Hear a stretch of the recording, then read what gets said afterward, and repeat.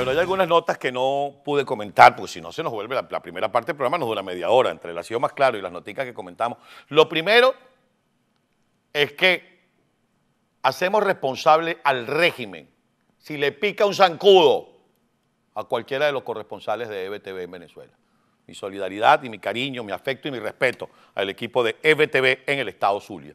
Ya el Sindicato Nacional de Trabajadores de la Prensa ha hecho las denuncias de las amenazas contra Madeline Palmar, Edwin Prieto y su equipo de trabajo.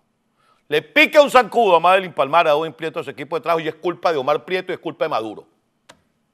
Les da gripe y es culpa de Maduro.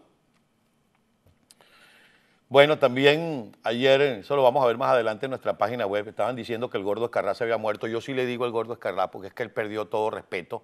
Cuando estaba de aquel lado pasó para este, regresó a aquel, vino para este y volvió para allá. Yo no sé dónde, si era que estaba buscando a ver dónde comía más el don Regalón ese, pero no, está, está vivo, tiene COVID-19, parece que está en la clínica Abel, a él le están sirviendo medio tobo de carato de mango cada mañana, 30 arepas de cochino frito. Bueno, de eso vamos a hablar más adelante y por supuesto nuestra solidaridad con el pueblo peruano, porque eh, lamentablemente se produjo un atentado que al parecer da cuenta de la reaparición del grupo terrorista Sendero Luminoso. De eso vamos a hablar más adelante. Pero tenemos elecciones en junio. A ver si Pedro Castillo llega al Palacio Presidencial para que entonces Sendero Luminoso sea del gobierno. Amigos, compartimos con ustedes el pronóstico meteorológico y en qué estado se encuentran algunas de nuestras calles, autopistas y avenidas.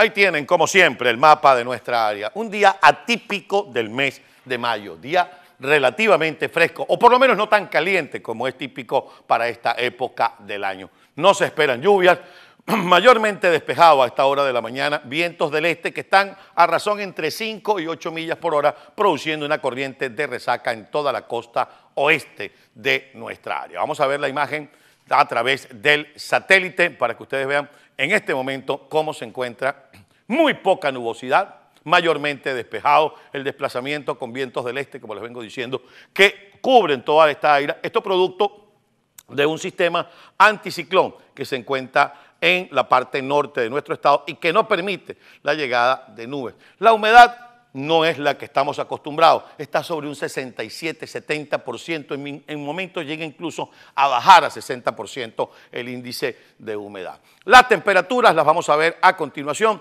para que ustedes sepan cómo amanece nuestra área y vamos a comenzar con, vamos a las temperaturas, María Fernanda, si eres tan amable, para que podamos ver tanto en Florida Norte, Florida Central y el sur de la Florida. Park Bay en 70, 75 en Vero Beach, ya esto es Florida Central, 73 en Port St. Lucie. En el condado Palm Beach amanecemos con 77 grados, igual en Broward, en Fort Lauderdale, igual que en Miami con 75, bastante, digamos, fresco para esta época del año. Luego en Homestead 77 y si revisamos un poco más abajo hacia el condado Monroe, es decir, Los Cayos 77, en Cayo Largo 79 en Maratón. La máxima de hoy 83, 84, máximo 86 grados en algunos sectores cuando de manera típica uno puede encontrar en los meses de mayo en años anteriores, salvo cuando se producen estos sistemas anticiclónicos por encima de los 90. No llueve el día de hoy, muy baja la probabilidad de lluvia el resto de la semana. A partir del jueves un 10, un 20%, igual para el viernes, regresa un poco la humedad para el fin de semana. Un día mayormente despejado, muy soleado, después de las 2, 3 de la tarde estaría completamente despejado. Vamos a ver las temperaturas en nuestras ciudades, un poco para que ustedes, quienes nos ven aquí en el área del sur de la Florida, tengan un, una visión. En Pembroke 77, Miami Shore 77, Hialeah con 77, igual para Virginia Garden, West Miami, Kendall 75 en la zona de Miami, corriente de resaca nos espera debido a la velocidad del viento. En un día mayormente despejado, con poca probabilidad de lluvia, casi ninguna, cálido al mediodía, caliente hacia la tarde, una noche relativamente templada, por no decir fresca. Pasamos ahora a revisar las condiciones en nuestras calles, autopistas y avenidas y comenzamos con la 32 del Southwest. Con la cámara mirando hacia el norte se dan cuenta que está bastante despejada la circulación en esta zona de la ciudad. La entrada hacia Coral Way absolutamente libre, igual más adelante en la entrada a la calle 8. En sentido sur, sin ningún tipo de problema. Cambiamos de cámara. Y nos vamos ahora a la Okeechobee Road o la 27 US, como ustedes la conocen. Es en su conexión con el Palmetto Expressway. Hay un poco más de volumen de vehículos, pero sin retraso. Si tiene usted premura, puede utilizar el carril expreso, que en ambas direcciones está bastante despejado, como ustedes pueden observar. La cámara está mirando hacia el norte. Esto es Okeechobee Road. Luego está South River Drive, más adelante la 103, 122 y 138, pero se ve que arriba continúa un poco de congestionamiento porque es la entrada y salida a la ciudad que progresa, a Jayalía. Chequeamos la siguiente cámara. Y aquí estamos ya en la 17 del Southwest, totalmente despejada, como se darán cuenta. Hacia el norte, despejado. Hacia el sur, también. Aunque la cámara mira hacia el norte y vemos que a lo largo de este tramo que conecta con la 17 del Southwest está completamente libre. La incorporación a Miami Trail en esta zona está absolutamente libre. Vemos una cámara más y tenemos ahora la, esta es la 74 con la cámara mirando hacia el sur. Esta es la primera entrada a la ciudad de Doral. Si usted viene del norte hacia el sur, se darán cuenta que hay bastante congestionamiento de vehículos, pero no mucho retraso. Volumen de vehículos, podríamos decir. Pero hay mucha circulación en los carriles expresos. 74 del Southwest, milla y media más adelante nos conseguimos con la entrada a la 58, como marca esta señalización, y una milla más adelante la 36. Esto es, pues amigos, el estado en el que se encuentran nuestras calles, autopistas y avenidas. Y quiero hablarles, como siempre, a esta hora de nuestra tienda, ebtvstore.com.